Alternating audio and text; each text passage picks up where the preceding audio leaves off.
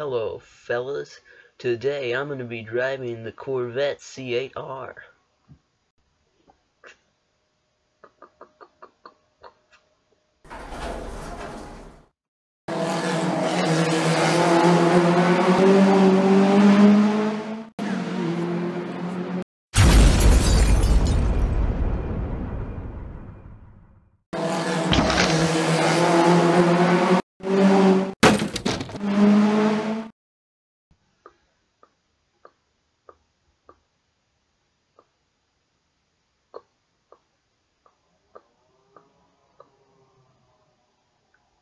Huh.